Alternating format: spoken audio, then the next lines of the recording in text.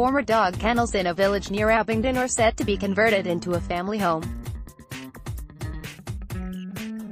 The owners of the old kennels on Drayton Road, Sutton Courtenay, have applied for planning permission to transform them into habitable housing along with the stable block next door.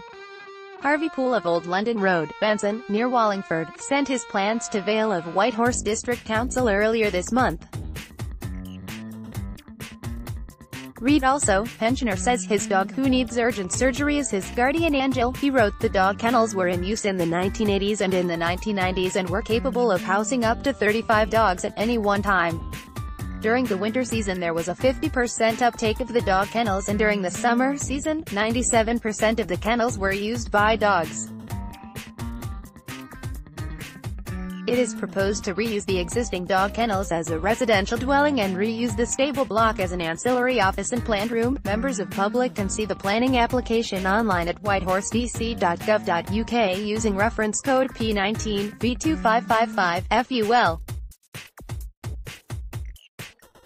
The council is aiming to give Mr. Poole a decision by December 18.